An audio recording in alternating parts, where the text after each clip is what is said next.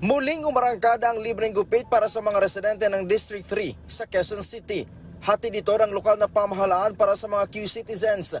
Tuwang-tuwa naman ang mga residente sa libreng serbisyong kanilang natanggap. Magpapatuloy naman ang proyekto sa iba pang lugar sa mga susunod na araw.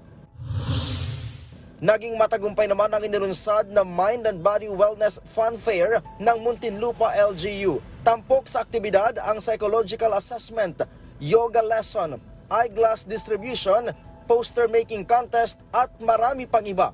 Programa ito ng lokal na pamahalaan sa pamamagitan ng Muntinlupa City Community-Based Mental Health Program katuwang ang ilang pribadong sektor.